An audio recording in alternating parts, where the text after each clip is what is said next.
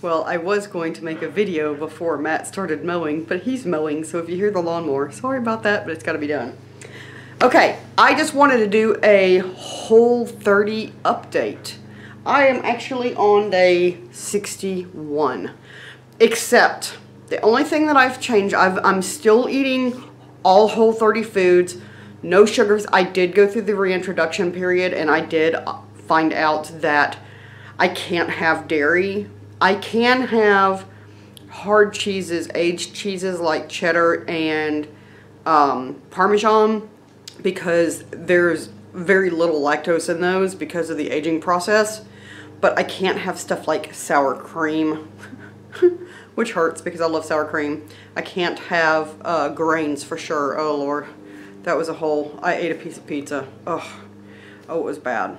It was really bad. I mean, the pizza tasted good, but yeah, not going back to grains ever. So, um, and I've done some non-grain, um, like gluten-free grains. Like I did corn chip, corn tortilla chips from the Mexican restaurant. And one day they didn't really bother me, but the next time I ate them, they did. So I don't think I ate very many of them the first time, and I ate more of them the last, the second time because I thought they didn't bother me, so I ate more of them and they did. So I'm staying away from grains. I'm still 100% eating Whole 30, except I guess I can't call myself Whole 30 because I am breaking one rule of Whole 30, which is snacking. I am snacking, but let me show you what I'm snacking on. These come from Costco and they're called Country Archer and they're just like Slim Jims except there's no sugar in them. The ingredients in these are pure and it's 100% grass-fed beef which is amazing. Yeah, just one of these every once in a while. I'm allowing myself a little snack. Also, the Siete chips are amazing. Now this is the first time I've tried the lime flavor. They're really good. They'll, whew, they'll put a pucker on you, but they are really good. I will say that the Siete chips are high in carbs. So if you're watching your carbs, you may not want to eat these. But honestly, to me, to have a very fantastic tasting grain-free chip is worth everything. It, it's oh my gosh, is so nice because I am a snackaholic. I've always been a snackaholic and I'm trying, even though I've put snacking back into my daily routine or not all, I can't say daily routine because I don't snack every day, but I'm allowing myself to snack so I don't feel like I'm being deprived of anything, which is awesome. Um, still, almond butter. Make sure that the only ingredients is dry roasted almonds and that's it. You want all the oil to be natural because some will actually add like palm oils or bad oils and why do that? Because the nuts have enough oil in them. So yes, when I'm snacking now, I'm allowing myself some organic apples and some almond butter and that's a very good snack. Another thing that I love, I guess this is the Whole 30 Snack Edition. But it's not really Whole 30 because I don't want somebody to say it's not Whole 30 if you're snacking. It's not. But if you're going to snack and you're trying to stay on a healthy diet, no matter what it's called, these are the snacks to eat. These are bomb. Now, I have never been a kettle chip person because I kind of hurt my teeth because they're so crunchy. But these are made with 100% avocado oil and so many potato chips are made with like canola oil and just these horribly processed oils that are not good for your body. People, seriously, it only takes a couple seconds to read ingredients.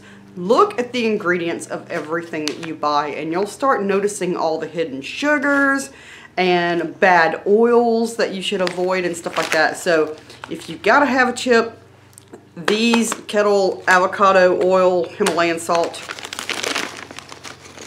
are so freaking good. Hmm, they're so good. they really are. Anyway, at the end of Whole 30, I had lost six pounds. I am now at the 10 pound mark. I have lost 10 pounds since I started. And granted, I'd probably be less than that if I were exercising more. We've had an extremely, extremely rainy winter. And actually it was nice this weekend, but we had things to do. Anyway, that's pretty much the gist of it. Basically, my diet is still going extremely well. I'm being very careful about what I eat. I don't feel deprived. I'm having a good time. The only thing is, always has to squeak when I'm videoing. The only thing is, is there are three things that I really enjoy, like three naughty treats that I enjoy. When candy corn first comes out, I have to get a bag of candy corn and eat it. And during Easter time, I allow myself one bag of robin eggs and one bag of jelly beans. And this year, I can't have the jelly beans or the robin eggs because I don't want to put that junk back into my body. And that's the one thing that I'm like, oh, that sucks. Because I like my robin's eggs and I like my jelly beans, but it's worth it to feel better, guys. I'm, I'm really feeling so much better. I still have not had a migraine. I've gotten a couple ice pick headaches. That happens.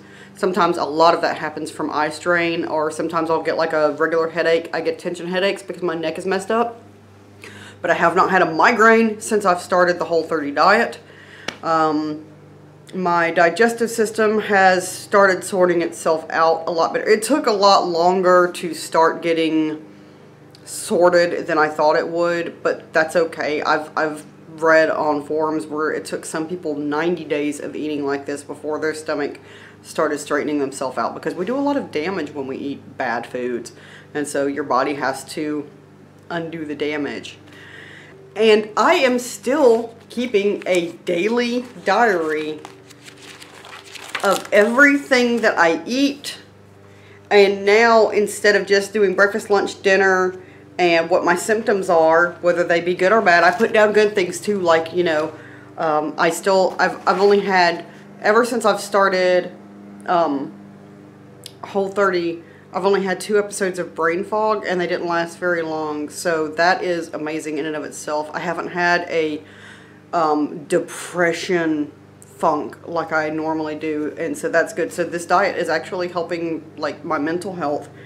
But I have now started adding down at the bottom um, productivity and exercise and now I add, if I have a snack, what I'm eating. Oh, and I don't have any to show you, but I am, I do like to snack on the Epic pork rinds, Epic brand pork rinds, because they are amazing. And it's just um, pork skin and pork fat and salt and pepper. So, unless you get like the barbecue, and the barbecue doesn't have sugar in it, so they're still good to eat. So yeah, I need to actually write down my lunch because we were out, so I haven't written down anything. I mean, I had lunch here, I just haven't written it down. Sometimes I wait till the end of the day to write stuff down. Uh, and sometimes if I know exactly what I'm going to eat, I just go ahead in the morning time when I have my breakfast and write everything that I've eaten down. And then I write down my exercise, like what steps I got in or, or what I did. Like if I clean the house, that burns calories and it's good cardio. So if I'm cleaning and vacuuming and sweeping and mopping and stuff like that, I write all that down because that really does count. So hey, if you're a housewife or a house husband and you're thinking, oh, I haven't been able to get to the gym or I haven't been able to go out and walk or I haven't got my steps, if you're cleaning the house, you are burning calories. Even cooking and meal prep burns calories. Just get off the couch and do something. So, um, so give yourself more credit. So that's I just wanted to give you um, a, a, heads up of what's going on. And I know that my whole 30 videos do not appeal to many people, but I really just wanted to journey this so that not only you could see what it's like to go through whole 30, but you could see if there are benefits or not. And there are benefits to it. Absolutely, there are benefits.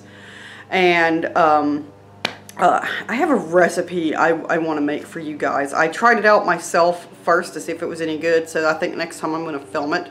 But they are for um, banana muffins, muffins with their almond meal. So they're not Whole 30 because Whole 30 you're not allowed to mimic foods like pancakes and muffins and like naughty foods.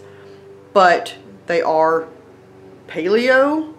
So there you have it. So I'm doing good. And so, hey, let me know if you are on a health journey down below. And I really appreciate you guys watching and sticking with me.